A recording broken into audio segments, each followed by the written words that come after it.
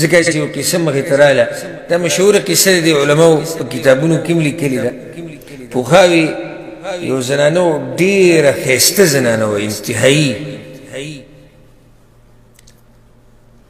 د هغې د نوم او دام تذکر راغلی خو زما ذهن کې نشته هسې یو پیر مې دی چې کتلې وه دا قصه نو هغه دا خلفا چې په ټیم کې وو بچیان او د دوی په سیم رښتې راتلو خو هغه نه به منله بیا د یو کس سره واده شو چې هغه انتهایي بدرنګ انتهایي بدرنګ و چیتو د باډۍ نه تک تور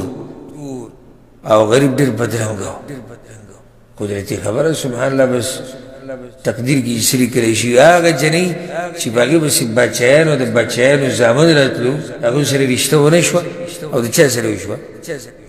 یو بدرنګ انسان سره وشو نو بیا خزه ډیر دیندار خزه ډیر انتهایی دیندار خزه ناګي و تی وی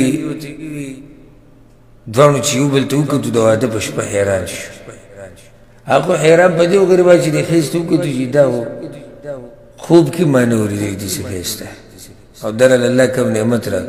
او هغه چې دې ته وګورځو هغه دې هم حیران شو نبي او تاګي یو طریقې ته خیر او موت او په دونه جنت تلل شو د ښځې د خاوند ته وی دیسی طریقه د تکه چې ما او تا دوانه به پیچر ته لاړ شو جنت ته غو ته سه وی کله چې ته مې نه شکر ادا کوه او زه چې کله ته نه زه به صبر کوم دوړه بچی ته لاړ شو دوړه بچی ته لاړ